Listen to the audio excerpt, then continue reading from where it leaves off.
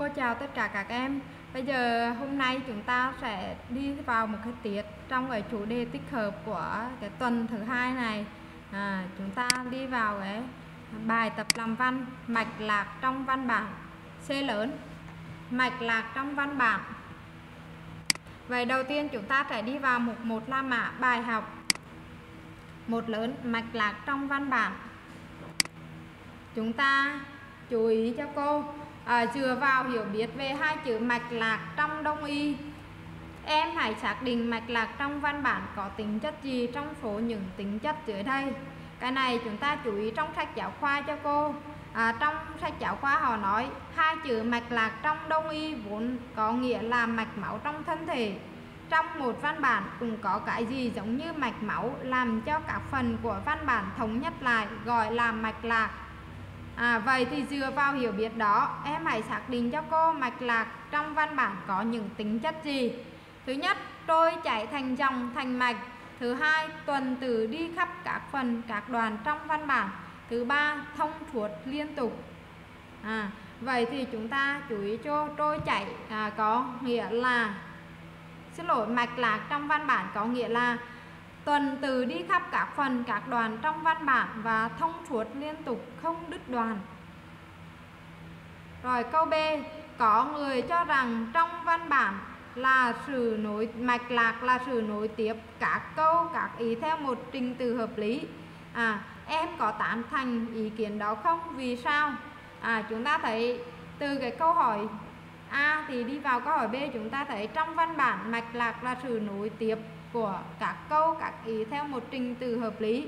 Vì các câu, các ý ấy thống nhất xoay quanh một ý chung.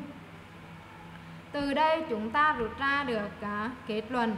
Mạch lạc là sự tiếp nối các câu, các ý theo một trình tự hợp lý. Đấy. Vậy thì điều kiện để có một văn bản mạch lạc là gì? Chúng ta cùng tìm hiểu. Văn bản Chúng ta cùng trả lời các câu hỏi ở trong sách giáo khoa. Câu A. Văn bản cuộc chia tay của những con búp bê kể về sự việc khác nhau. Mẹ bắt hai con phải chia đồ chơi. Hai anh em Thành Thủy rất thương nhau. Chuyển về hai con búp bê. Thành đưa em đến lớp chào cô giáo và các bạn. Hai anh em phải chia tay nhau. Thủy để cả hai con búp bê lại cho Thành. Hãy cho biết toàn bộ sự việc trong văn bản xoay quanh sự việc chính nào. Sự chia tay và những con búp bê đóng vai trò gì trong truyện? Hai anh em thành thủy có vai trò gì trong truyện? Vậy thì chúng ta chú ý cô ở đây trong cái câu hỏi A này có ba câu hỏi nhỏ. trước hết, cho biết toàn bộ sự việc chính xoay quanh sự việc nào đó là sự việc như này xoay quanh cái sự việc chính là hai anh em thành thủy chia tay nhau rồi sự chia tay à xin lỗi sự à, sự chia tay và những con búp bê đóng vai trò gì trong truyền à, là đóng vai trò là sự việc chính ở trong truyền rồi hai anh em thành thủy đóng vai trò gì? Thì hai anh em thành thủy chính là nhân vật chính ở trong truyền đấy chúng ta lưu ý cho cô.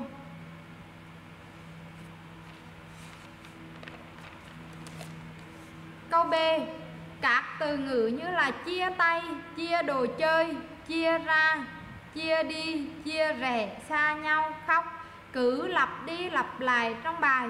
Rồi một loạt từ ngữ và chi tiết khác biểu thị ý không muốn phân chia cũng lặp đi lặp lại như là anh cho em tất chẳng muốn chia bôi chúng lại thân thiết quàng tay lên vai nhau không bao giờ để cho chúng nó ngồi cách xa nhau theo em đó có phải là chủ đề, vấn đề chủ yếu liên kết các sự việc nêu trên thành một thể thống nhất không? Đó có thể xem là mạch lạc của văn bản không? Vậy thì chúng ta thấy hai anh em thành thủy chia tay nhau những con búp bê không chia tay giống như là tình cảm của hai anh em mãi gắn bó không có gì thể có thể chia cắt được và những cái từ ngữ đó nó xoay quanh cái uh, chủ đề của văn bản vì thế là nó cũng tạo nên cái sự mạch lạc trong văn bản nha. Các em chú ý cho cô. Câu hỏi C. Trong văn bản, cuộc chia tay của những con búp bê có đoàn kể hiện tại, có đoàn kể quá khứ, có đoàn kể việc ở nhà, có đoàn kể việc ở trường, có đoàn kể chuyện hôm qua, có đoàn kể chuyện sáng nay. Đấy, các đoàn ấy được nối với nhau theo mối liên hệ nào trong các mối liên hệ? Vậy thì liên hệ thời gian liên hệ không gian liên hệ tâm lý liên hệ ý nghĩa. À, vậy chúng ta chú ý vào đem bảng cho cô. Những mối liên hệ ấy là rất là tự nhiên rất là hợp lý ở chỗ đây. Đoàn kể về quá khứ với đoàn kể về hiện tại. À, quá khứ à, khi mà à, thành về à, đã bóng rách áo rồi em thủy mang áo à, mang kim chỉ ra thân đã banh vay áo cho anh và hiện tại thành nhớ về điều đó đó là liên hệ tâm lý. Rồi kể về việc ở nhà về việc ở trường Đấy, khi thành ở nhà thành và thủy chia tay búp bê ở nhà. Rồi à, thành và đưa thủy đến trường để chia tay các bạn đó là liên hệ không gian. Rồi đoàn kể chuyện hôm qua với đoàn kể chuyện sáng nay đó là liên hệ thời gian. Đoàn kể chuyện tâm trạng của hai anh em với đoàn kể về cảnh vật bên ngoài đó khi thành và thủy ở đến trường và trên đường về nhà đó là liên hệ tương phản. Rồi cảnh chia đồ chơi với cảnh hai anh em chia tay nhau đó là liên hệ tương đồng. Đó, và những cái mối liên hệ giữa các đoàn là rất tự nhiên rất hợp lý để tạo nên một cái văn bản mạch lạc. Vậy từ đây chúng ta rút ra cái kết luận văn bản mạch lạc thì cần có những yêu cầu thứ nhất các phần các đoàn các câu trong văn bản phải đều nói về một đề tài biểu hiện một chủ đề chung xuyên suốt Thứ hai, các phần, các đoàn, các câu trong văn bản được tiếp nối một theo một trình tự rõ ràng, hợp lý, làm cho chủ đề được liên mạch.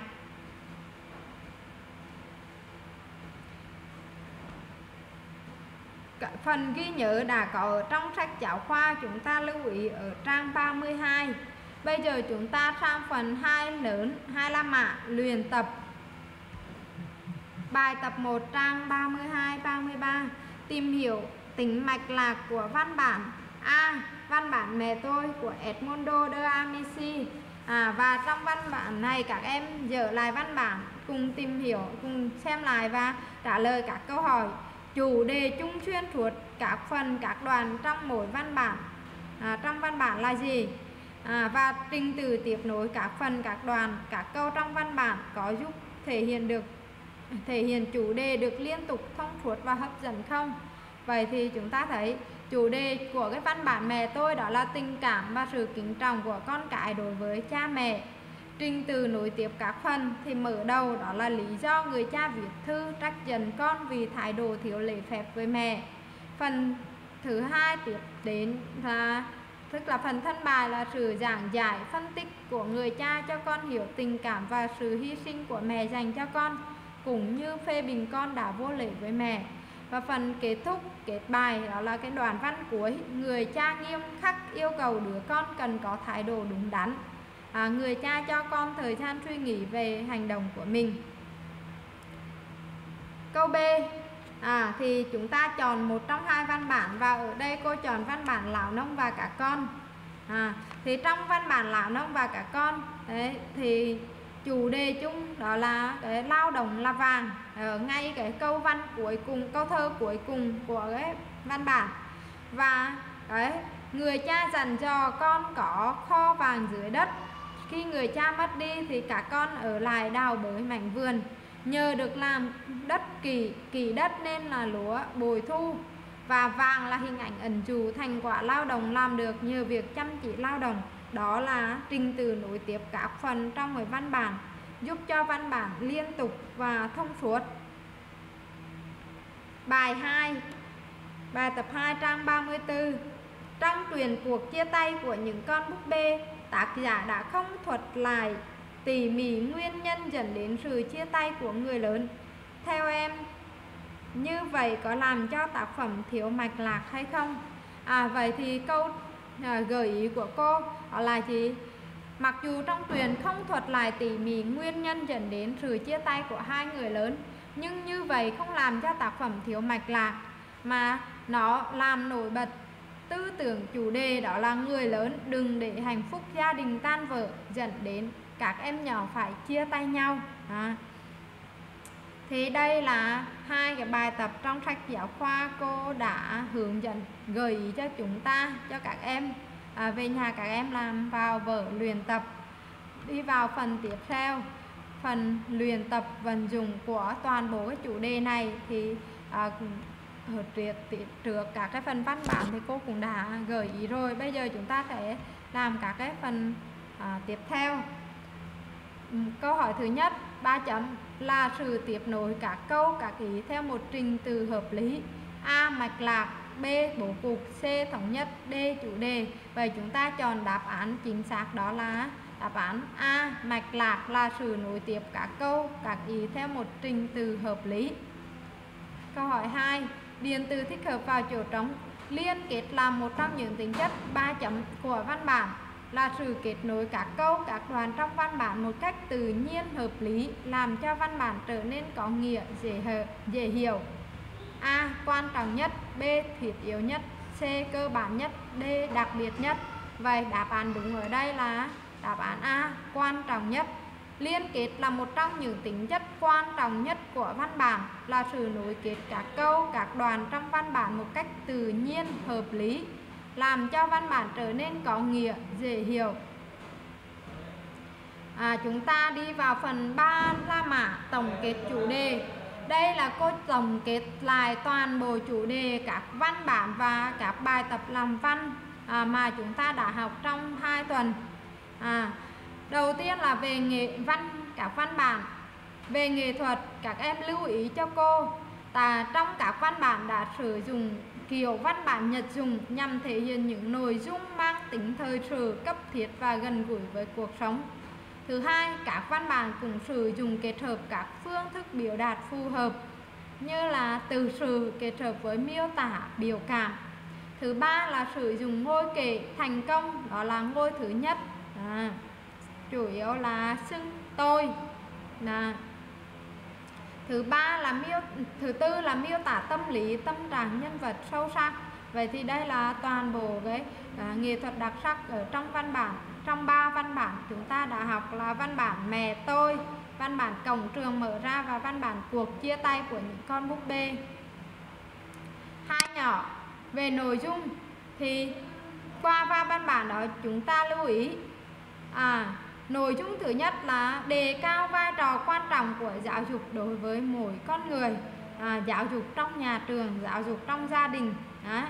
Thứ hai là ca ngợi tình mẫu tử thiêng liêng cao cả đó. Ờ, Thứ ba là tình cảm gia đình là tình cảm thiêng liêng quý giá nhất nên mỗi người cần trân trọng và giữ gìn. Đây là nội dung của ba văn bản chúng ta à, đã học.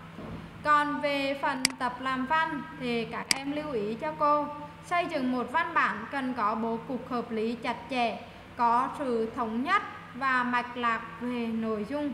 Đó. Thì qua ba cái bài à, liên kết trong văn bản Bố cục trong văn bản và mạch lạc trong văn bản Chúng ta rút ra cho cô điều này. Vậy đây là toàn bộ cái nội dung à, tổng kết của phần chủ đề. Các em lưu ý cho cô ha à và chúng ta cũng kết thúc cái phần chủ đề tích hợp văn bản à, nhật dùng và các bài tập làm văn à, trong à, hai tuần học vừa rồi. À. vậy thì bài học đến đây kết thúc. Cô à, chân thành cảm ơn các em. À, cô chào các em.